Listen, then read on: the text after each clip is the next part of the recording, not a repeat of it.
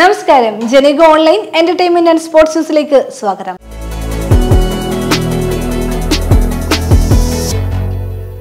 പ്രമേയം കൊണ്ടും അഭിനയ മികവ് കൊണ്ടും പ്രേക്ഷക നിരൂപക പ്രശംസകൾ ഏറ്റുവാങ്ങിയ ചിത്രമാണ് നടൻ സൂര്യയുടെ ജയ് ഭീം രണ്ടായിരത്തി ഇരുപത്തിയൊന്ന് റിലീസ് ചെയ്ത ചിത്രത്തിൽ അടിസ്ഥാന വർഗത്തിന്റെ നീതിക്ക് വേണ്ടിയുള്ള പോരാട്ടത്തിനായി കരുത്തനായി നിന്ന അഡ്വക്കേറ്റ് ചന്ദ്രുവായാണ് സൂര്യ എത്തിയത്. റിലീസ് ചെയ്ത് ഒരു വർഷം കഴിഞ്ഞപ്പോഴാണ് ഇപ്പോൾ സിനിമയിലെ ഡിലീറ്റ് സീൻ പുറത്തു വന്നിരിക്കുന്നത്. സൂര്യ സ്റ്റാഡം എന്ന ട്വിറ്റർ പേജിലൂടെയാണ് ഡിലീറ്റഡ് രംഗങ്ങൾ പുറത്തു വന്നിരിക്കുന്നത്. കണ്ണിന് കാഴ്ചയില്ലാത്ത യുവാവിന്റെ വിവാഹവും തുടർന്ന് നടക്കുന്ന ആക്ഷൻ രംഗങ്ങളുമാണ് ഇപ്പോൾ വൈറലായിരിക്കുന്നത്.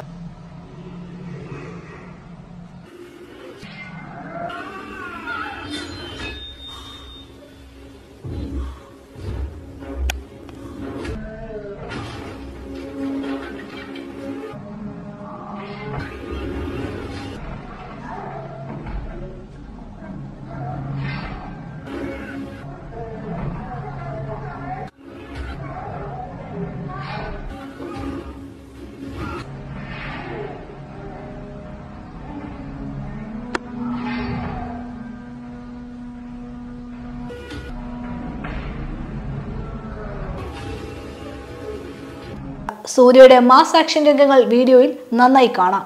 അതേസമയം ലിജോ മോളും മണികണ്ഠനും അവതരിപ്പിച്ച കഥാപാത്രങ്ങളുടെ കഥയിൽ നിന്നും പ്രേക്ഷക ശ്രദ്ധ മാറിപ്പോകാതിരിക്കാൻ സൂര്യയുടെ ആവശ്യപ്രകാരമാണ് ഈ സീൻ ചിത്രത്തിൽ ഉൾപ്പെടുത്താത്തതെന്നാണ് ടൈംസ് ഓഫ് ഇന്ത്യ റിപ്പോർട്ട് ചെയ്യുന്നത്.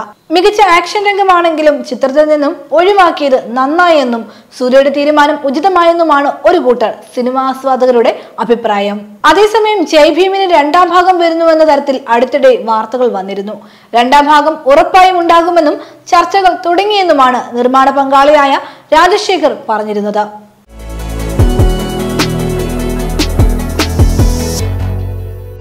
രജനീകാന്തിനെ നായകനാക്കി നെൽസൺ ദിലീപ് കുമാർ സംവിധാനം ചെയ്ത ആക്ഷൻ ത്രില്ലർ ചിത്രം ജയിലർ ബോക്സ് ഓഫീസ് റെക്കോർഡുകൾ തിരുത്തിക്കുറിക്കുകയാണ്.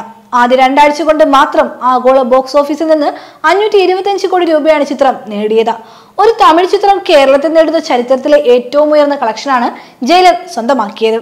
ചിത്രത്തിൽ അതിഥി വേഷത്തിൽ മോഹൻലാൽ എത്തുമ്പോൾ വർമ്മൻ എന്ന വില്ലൻ വേഷത്തിലാണ് മലയാള നടൻ വിനായകൻ എത്തിയത് ഇപ്പോഴിതാ ചിത്രത്തിൽ ട്വിസ്റ്റ് കൊണ്ടുവന്നിരിക്കുകയാണ് സോഷ്യൽ മീഡിയയും വിനായകന്റെ വർമ്മൻ എന്ന വില്ലൻ കഥാപാത്രം വീണ്ടും തിരിച്ചു വരുന്നു എന്ന സൂചന നൽകുകയാണ് social media Jailer two point zero loading എന്ന ടൈറ്റിലൂടെ വിനായകൻ അഭിനയിച്ച ചതിക്കാത്ത ചന്തു എന്ന പഴയ ചിത്രത്തിലെ ഒരു രംഗമാണ് വീണ്ടും വൈറലാകുന്നത്. പ്രേതത്തിന്റെ രൂപത്തിലാണ് വിനായകൻ ചിത്രത്തിലുള്ളത്. അവൻ വീണ്ടും വരുന്നു വർമ്മൻ എന്ന കുറിപ്പോടെയാണ് പോസ്റ്റ് പ്രചരിക്കുന്നത്. രസകരമായ നിരവധി കമന്റുകളാണ് പോസ്റ്റിന് താഴെ ഇപ്പോൾ നിറയുന്നത്.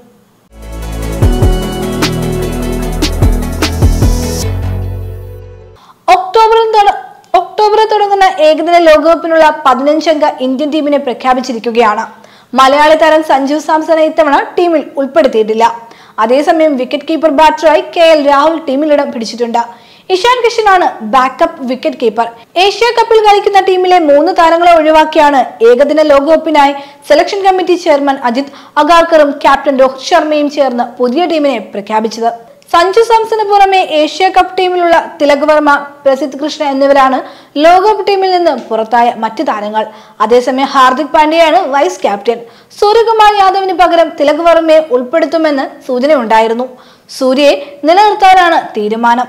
ബാറ്റിംഗ് കൂടി കണക്കിലെടുത്താണ് നാലാം പേസറായി പ്രസിദ്ധ് കൃഷ്ണയ്ക്ക് പകരം ഷാർദുൽ ഠാക്കൂറിനെ ടീമിലെടുത്തതെന്ന് ക്യാപ്റ്റൻ രോഹിത് ശർമ്മ പറയുന്നത്.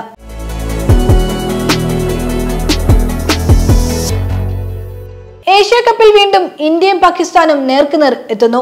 നേപ്പാളിനെ പത്ത് വിക്കറ്റിന് പരാജയപ്പെടുത്തി ഇന്ത്യ സൂപ്പർ ഫോറിൽ കടന്നതോടെയാണ് വീണ്ടും ഒരു ഇന്ത്യ പാക് പോരാട്ടത്തിന് കളമൊരുങ്ങുന്നത്. ഗ്രൂപ്പ് ഘട്ടത്തിൽ ഇന്ത്യയും പാകിസ്ഥാനും പരസ്പരം കൊമ്പുകോർത്തെങ്കിലും മത്സരം മഴ കാരണം മാറ്റിവെച്ചിരുന്നു. സൂപ്പർ ഫോറിൽ സെപ്റ്റംബർ പത്താം തീയതിയാണ് ഇന്ത്യ പാകിസ്ഥാൻ മത്സരം.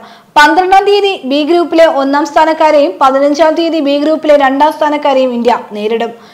മത്സരങ്ങൾ മത്സരങ്ങളുടെ വേദി കൊളംബോ പ്രേംദാസ സ്റ്റേഡിയത്തിലേക്ക് മാറ്റിയിട്ടുണ്ട്. കാൻഡിയിൽ മഴ തുടരുന്നതിനാലാണിത്.